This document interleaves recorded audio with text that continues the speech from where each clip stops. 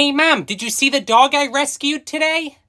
No, what the hell are you talking about, Michael? I found a homeless dog in the streets, so I caught him and rescued him. What do you mean, rescued him? Where the hell is he? He's in the house. Look, there he is running around now.